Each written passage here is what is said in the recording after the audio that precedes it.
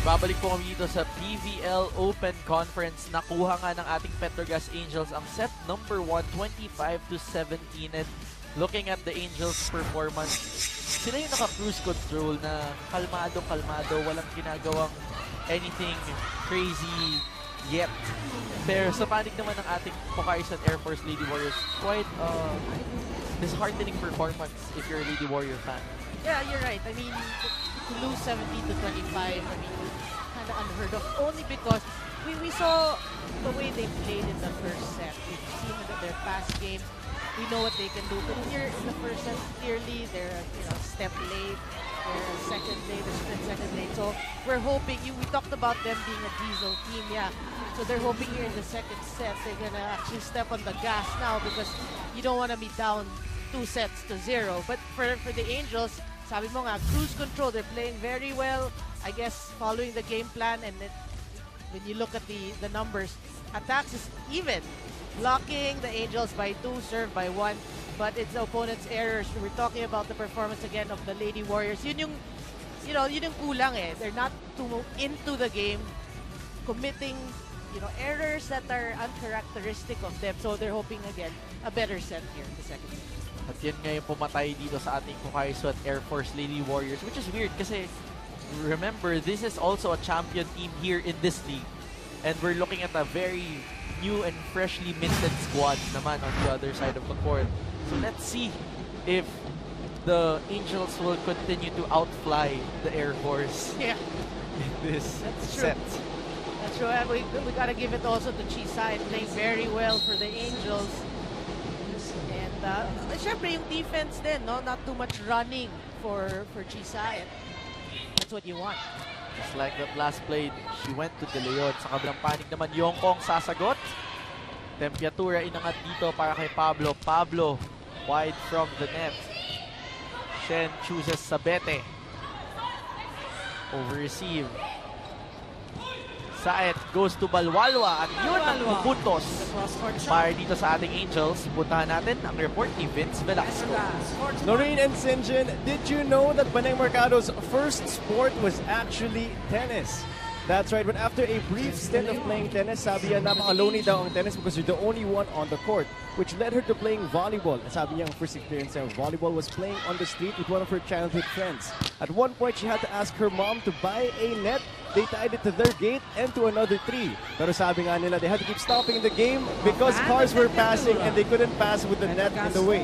She also said now she can't imagine her life without volleyball and her top favorite things about the sport are her teammates, the support of the crowd, and eating all you can after every game. Back to you guys. After every game, eating all you can. That sounds really good, Vince. Wait, wait, wait. Track and field? Yun nga din eh. Pareho, pareho tayo ng unang reaction Tennis! eh. Tennis talaga sa lahat ng naging sports. Hindi man lang nauna yung track and field. Of course, we're talking about Paneng Mercado. But speaking of that story from Vince, no, I'm wondering kung nandun pa kaya yung net sa gate, sa harap ng gate nila. Wala na. na nasira na ng truck ah. Na, na sagasaan na. Nasagasaan na. Pero ito, balik tayo dito. Sasagot si Pablo para sa Pocahontas Air Force Lady Warriors at yun ang magbibigay ng kanilang unang puntos. Ah, what, what a form there. Great slow mo. Show, show the how, how she can be. Kamukha na nga nung logo ng PVL yung pagtalon ni Miley. Yeah. Pero ito, she gets a service error from the service line. Abante ng tatlong puntos dito ang ating Angels. Balwalwa, formerly a Lady Warrior, now on the service line. Yun yung sinasabi natin, no, the characteristic error sa service error of Pablo. Yeah. It didn't even, it, it's even in the uh, right side of the right antenna. That's how weird that serve was. Maybe there's something with the, the feng shui, the, the mojo, the, the juju, some people will say. But let's see if kaya ba nilang bawiin yan dahil Yonko scored off the block there on the flash point. Lead is down to two. Um, and we have a tweet here coming from Juliana Miguela watching and supporting the Bukayo Sweat Air Force Lady Warriors all the way from General Luna, Quezon. Go, go, Bagyong Pablo. Ano nga naman.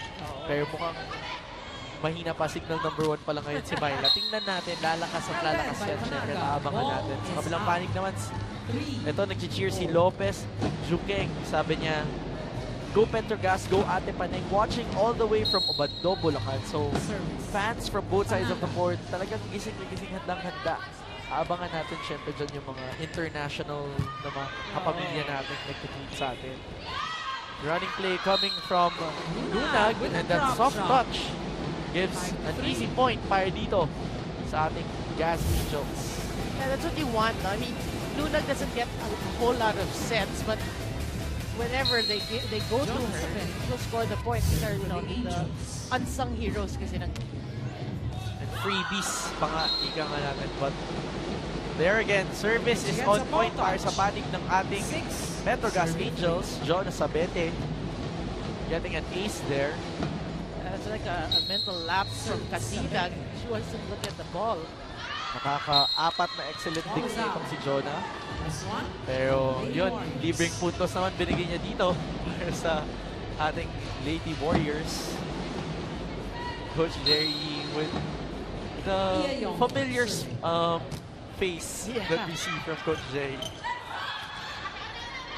Saet chooses Mercado. She's checked there. Mercado on the second try with some hesitation. Semana chooses Kasilag. Easy pick up there for Sabete. Balwalwa mula sa back row. Tapik mula kay Del Palomata ang magtatapos at magbababa sa isang puntos ng abante ng ating Angels. Yeah, it's a better rally for, for this match actually. Both teams medyo being aggressive in terms of defense. So we're hoping nga na, you know, mag-pick up yung pace ng game. Let's see if that service ace would be helpful para dito sa ating Horizon Air Force Lady Warriors. Tabla na po tayo at 6 points. And that's a really good point. That was the best quality rally that we've had so far. Yeah, in this match. Yeah, so let's see if if the quality is starting to go up kasi mukhang ginaganahan na yung Ah. ating Bukai Sweat Air Force Lady Warriors. Yep, and, and, and for the Angels naman, they're having problems with their first ball. That's two, uh, two, two, you know, subpar receptions there. Kasi mukhang ngayon sumasagot na sila. They're answering back to the challenge that the Angels had in the Yeah. first set. So, let's see how the Angels will answer back to that naman. But here, overcooked was the hit of Casilag. We're tied at 7 points. So, palitan ng puntos so far. That's true. And, you know, for, for Percari, that's what you don't want to see. Eh? You know, these errors, they committed nine unforced errors in the first set. You don't want to see that. Especially you want to get, you want to build your own momentum here in the second set. Let's see, because they seemingly have more energy now. And that's a good sign para dito sa ating Bucharest with Air Force. Uh, dump ball coming from Wendy and Semana and that brings them to the first technical timeout. Magbabalik po kami dito. We are back here in the Phil Oil Flying V Center. Kasama natin si DJ Louie, always bringing the throwback hits and the chill sounds. Pero mukhang hindi pa hyped up yung crowd natin ngayon. Siyempre, the Angels are down by one. But if you just joined us here today, set number one, nasungkit po ng ating Petrogas Angels with a seven-point advantage. But here in set number two, it seems like Pokai is up for the challenge and is ready to fight back. So, tingnan natin kung magpapatuloy ba ang gising nitong ating Pokai Sweat Air Force Lady Warriors. Yeah, but they've been targeting Sabete actually in the past, you know, two services, tapos pati yung sa deception niya. And so far, so good for them. So I would I wouldn't be surprised if they continue to target Sabete. But they're on the last play. Nagugulat itong si Jesse. De Leon on that quick play. Yeah, we all know Jessie, you know, very she's very agile eh. Very light. The speed talaga. Oo. Yun talaga yung pag quick hit, kayang-kaya ni Jesse. Tempo zero. Or Yeah. zero tempo rather. But on the other side, Pablo will try to answer. Pablo, off the block. Easy point para sa Pokai Sweat Air Force. That's classic Mina Pablo for you. Off the hands of the blocker. Lalapag lang right behind the block. Oo. the power is still there. Bagyo nga. Now, yung teammate naman niya, Del Palomata, will try to score from the service line. But De Leon will try to end that. Leon that scores works. again. Mukhang papaganahin ni Nine all. Chisait ngayon ang kanyang mga gitna. Yeah. Yeah, you know, we didn't see that in the first set and they won. So, nakita niya, that's, that's how good a, a setter also Chisayat is. Nakita niya na here in the second set, medyo, sabi mo nga, lumalaban na tong Lady Warriors. You know, let's change it up a bit. Four touches ang itatawag doon against our gas or Petrogas Angels rather. Again, serving nine. And sayang bitin yung mga angat eh. Oo nga eh. Pero A for effort ah. Yes, definitely. And if you're the coach, you'd really appreciate that. Wendian Semana now on the service line. Saet puts it up. Sabete cross court. Wow. Cross court shot. Mukhang may gigil si. Sabete ngayon. I remember the one of the first few games no, that she played that of the this conference. So we covered it, and we were talking about her because it's a new name. For Yes. Petronas. And she's shown us really what she can do. She deserves to be playing alongside, you know, names like Pablo and Mercado. And she proves that she is formidable and really de- deserving of that spot in the first six of Coach Jerry. Yeah. Yun talaga yung parang bago pangalan eh, hindi mo yung na-expect saan nanggaling yun. Pero Exactly. Ang ganda, kagad ng pinapakita para dito sa Petrogas Angels. But ito, surprising Mata. digits sa Myla Pablo with just four attack points here in the past two sets. So let's see if that will still grow for Myla. But on the other side of the court, miscommunication or rather mistiming ata. Oo. Uh, rescue na rin kasi, you know, we know that uh, they practice that, yung mga be quick and Service. timing is uh, obviously off there. And G-Side is now put into the corner to really do some magnificent plays here. So I think we're going to start seeing a lot of plays. Ah, on ang cue. There's one. 11 to 12. Kasi kanina napansin ko parang puro gitna, gitna simple, A-quick, uh, quattro. Kung ngayon, uh, we're noticing shuffling between the spikers on the side of our Petrogas Angels as well. Nabore na siya eh. Nung first, nung first set, parang very basic nga eh. No? Kaya, nang bored. But the challenge is up there because you have Wendy and Semana on the other side of the Oh, court. yeah. But Sabete now drops it in. Nice save there from Tempiatura. Free ball ang binigay ni Pablo. Inangat dito para kay Sabete ulit. Good cover. Tempiatura puts it up for Yanko. She's denied. Kasilag hits the line there. gets the spot. 11, 13. Scrappy play, but uh, the Lady Warriors get the point still. Steady. Naging running eh, no? no miss time eh, naging running eh, but uh, she'll take it. That still works dahil pinagulong niya yung bola eh. Yeah. Pangs Panaga. Ooh. I was just about to say Pangs Panaga is one of the tougher servers. She is! So again, yung errors ni ng Lady Warriors, that's what's actually breaking their own momentum. Something that you won't expect here from Pukay Sweat. Serving for Petronas. It's a one-point game. Sabete on the service line. Palomata, single block there by Cherry Lunag. We're tied at 13. Eh, magandang matchup yan actually, eh, no? Palomata and Luna. That reaction. Service. Right. Sabete. Unsatisfied pa din from that block. Mukhang marami pang papaluin dito but Kasilag. That ball doesn't cross para kay Ellie. More touches. Butos, change of favor at. Butos para sa ating Petrogas Angels. Abante sila ng isang Butos. Bari Air Force. 9 At ipapasok 12, naman ngayon si. Joy Cases para kay Eddie Casilag. Yeah, I mean, you know, for the fans of the Lady Warriors, Joy Casas has always been a, you know, a starter uh, when they're still playing for purely Air Force. So parang it's a good, good addition now here dito sa second set for Coach Jasper Jimenez. Little too wide. 15. Pero hindi pa din yun 13. nababago yung mojo sa loob ng court. Puntos ulit ay mapupunta para dito sa ating Petrogas Angels. Abante sila ng dalawang puntos. Which is weird dahil kanina it was really the Lady Warriors who were up and ahead. Cases Cases and on the hit out. Gets a point off the block. Yeah, that's one. That's one hugot you, that you like, you know, from the bench and they score. It's actually very hard kasi it's aircon, it's cold. So normally init, nag-warm yung up. warm up. Yeah. Pero mukha namang sinasabihang mag-warm up at naka-jacket naman yung mga girls natin. Cases ulit on the second try. Cases denies Saet on the joust and she ties 15. the match at 15. Mercado put it too near the net. And Sayed was forced, you can see that Sayed was forced to, to joust. Eh, mas square ang si Cases eh, that joust. So Beto there for the pickup. They go to Nunag. Sasagot sa kabilang panig. Palumata. Lucky hit there for Del Palumata and that brings our Pukaiso at Air Force Lady Warriors to the second technical timeout. Magbabalik po dito sa PBL Open Conference.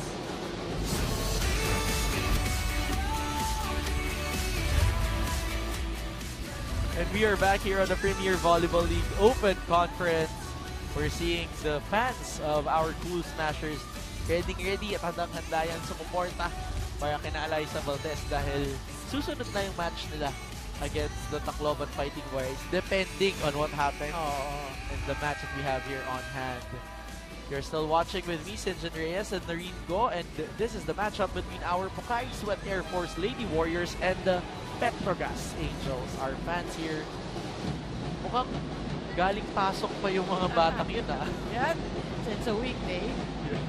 But you know, we gotta mention, Sinch, no, na the importance of this game is when we talked about the, the standings earlier, the four and this is a match between number four, and number, five, you know? yes. So the Angels are number four and the Lady Warriors are number five. So they're looking at yung goal nila is to get into the final four. So Ah, well each read. win is very important Una. for both of them. So this game Tied is really 16. crucial for the, if they want to get into the Yes, it, is a very crucial game. But the only difference though is looking at our Angels, they still have six more games to go. Okay. Sa Air Force naman, kung titingnan natin, sila naman, meron pa silang limang games na lamang. So, kasi late nga nagsimula ng second round itong ating Angels. So, yun yung medyo delikado kasi kumbaga marami pang bigas na Oh, kakainin that's ng true. Angels para makapasok or ma-maintain yung number 4 spot nila. But there's a ball touch. Yep, All but well, they gotta start today.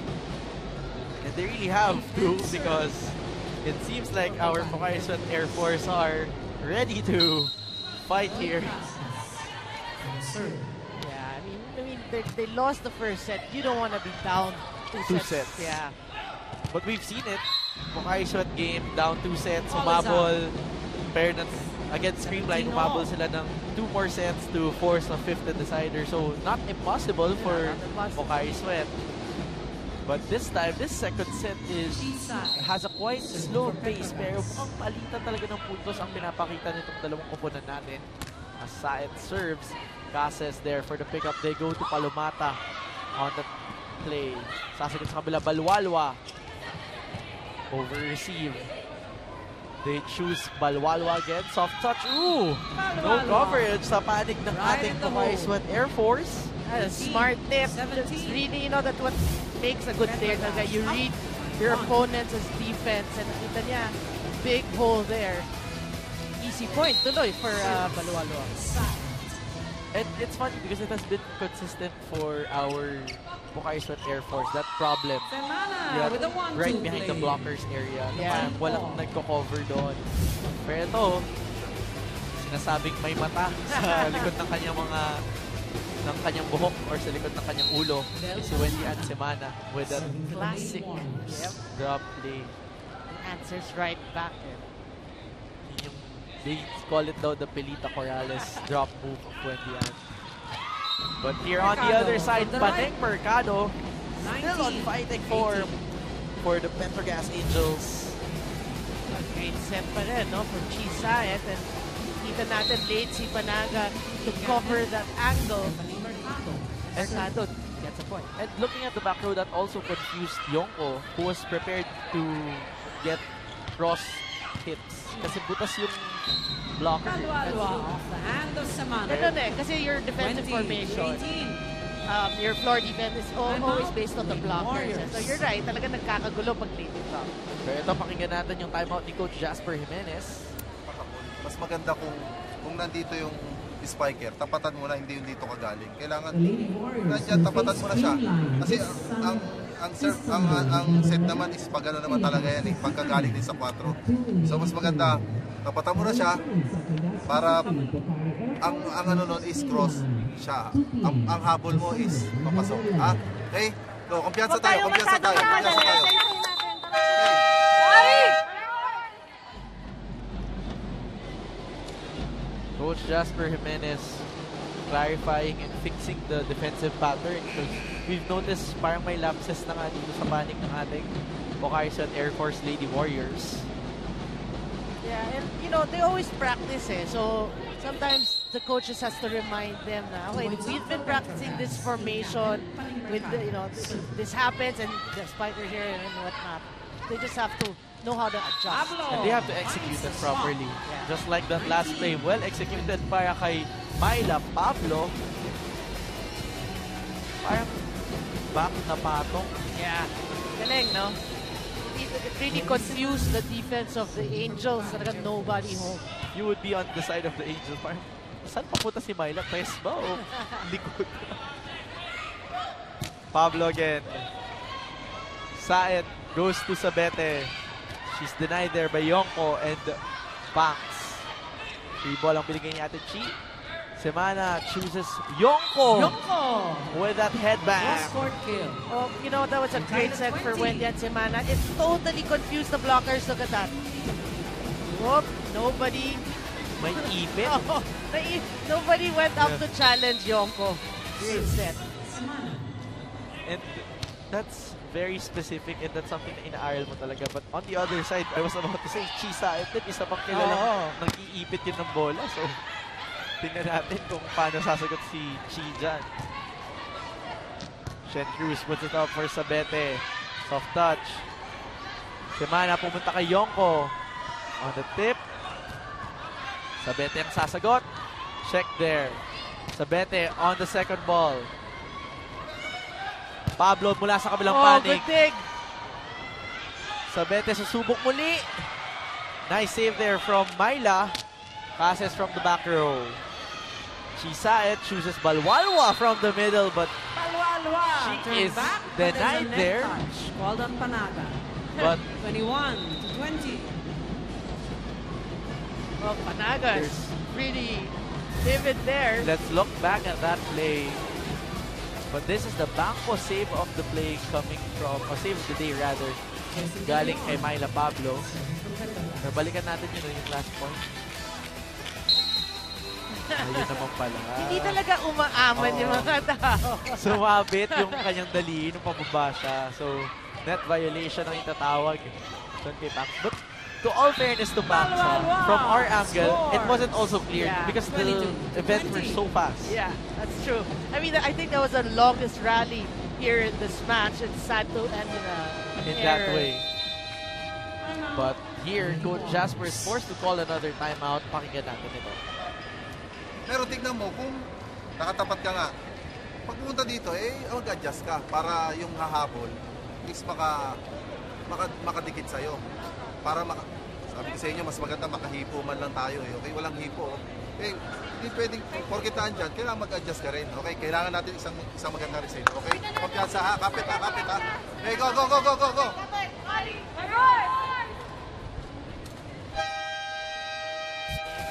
Balikan lang natin kanina yung ating Fudgy, o, Fudgy Bar O-Bar sa sarap moment of the game. Yung celebration nga naman ni Kai Nepomuceno Balwalwa the group hug. Yeah, Diba? What a heartwarming moment on the side of our 22 Angels. 20 But nothing to worry about on their side of the court. They're up by two points. Pero titingnan natin kung magigising na ba yung ating Air Force Lady Warriors after that timeout. Leon puts it up for Balwalwa. Semana was there at the back row. Sasagot dito Pablo down the line. Pablo, At may check ball. Puntos para sa kapal.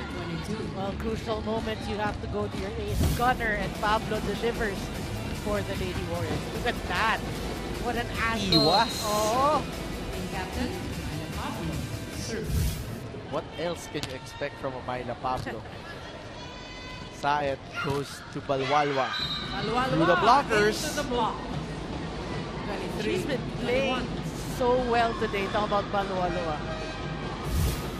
Substitution. Sumagot agad doon si six Balwalwa eh. Kung may. Queen Bulldog daw sa kabila, the original Queen Bulldog, kaya niya po kasi That's true. That's is true. here.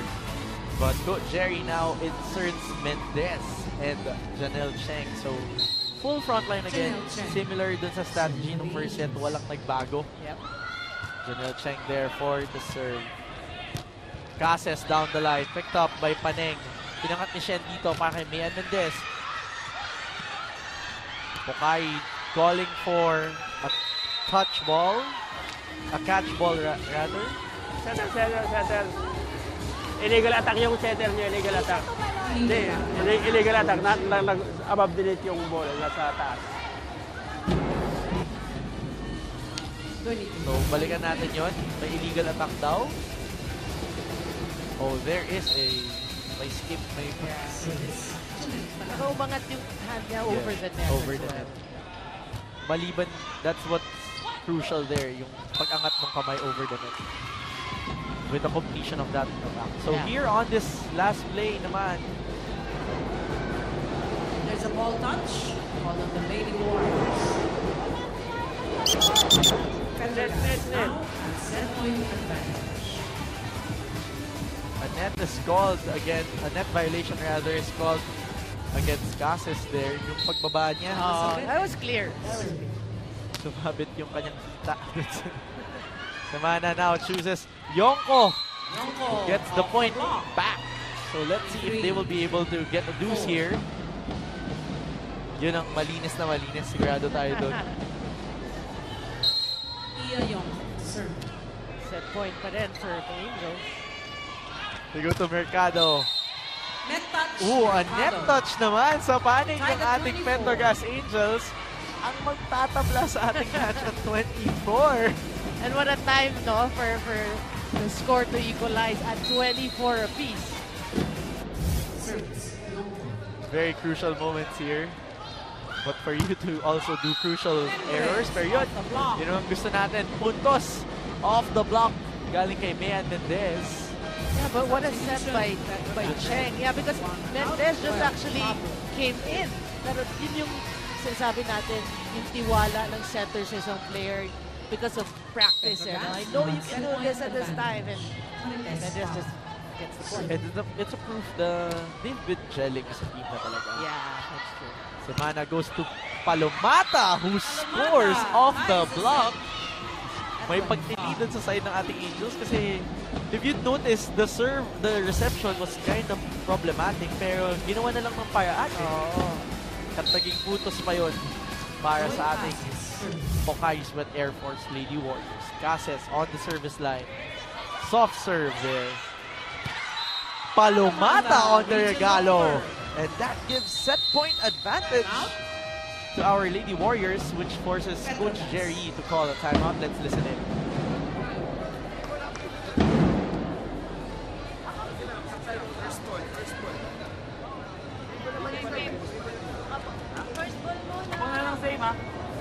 Relax, P, ha, sa'yo.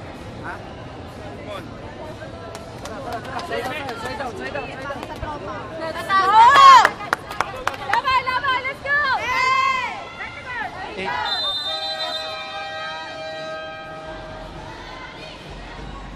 parang isang clear instruction lang yun na yun ko doon. Relax, me, sa'yo. Yeah. Mukhang kay Pablo yun ah. Well, Because yeah, I mean, again, if it's crucial moment, you want to go there. Set point advantage now the Lady Warriors. Paneng rather, Pablo. Pa- Pablo sa kabila. Paneng dito sa kabila. So let's see which captain will be up to the challenge as they go up to Paneng. Coach Jerry said, relax sa'yo. At sa kanya Mercado, nga, one. 26 puntos na agad.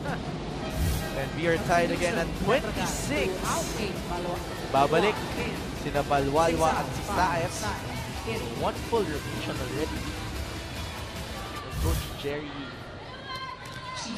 It's going to be interesting. You have De Leon, Balualua, and Mercado against Pablo and Del, and Del Palomata. Semana chooses Pablo. Sumersyento doon. Sight on the other side goes to Mercado, but a double contact Called onside. is called against 27 to 26. Chi Saet. Oh, that's huge, ah. Let's look at that again. Oh, Yeah. yung, yung pagbitaw ng bola, the release. Set. problematic on that part. Palumata there on the serve. Side goes back to Panek. On the other side, Balwalwa naman. Yonko was there. They choose Pablo. That's too wide. Oh, wow. What a time for that hitting error. That was set point for the 27. Lady Warriors. And this is what Coach Jasper was saying about their game, their last game against the Lady Eagles, na yung first set daw, sayang na lang talaga at nakakapanghinayang yung nangyari dun sa dulo ng Yeah. first set na yun. Kasi yung mga errors din nila yung pumatay sa kanila. Ooh! That's an ace. The Lady Warriors were frozen there on their side of the court. Yeah, an ace serve there by Mercado. Mercado, two. Scoring not just in, in the front line, pero kahit sa service line, pumupuntos itong si Paneng. Tingnan natin kung makakaisa pa siya. Pero Pablo says stop. Sasagot sa kabilang panic. Sabete down the line. Bete. And that gives set. number two to our Angels. Petrogas Angels. 29 to 27. 29 to 27 lang naman. Let's look at that last play. Yeah, it was a smart hit, by Sabete. Just going through the smaller blocker in Semana. She goes down the line and she gets the second set for the Angels. He's going above the blocker there was Jonas Sabete and that brings the Angels to a two-set advantage. Titingnan natin kung anong mangyayari. Huwag po kayong kukurap.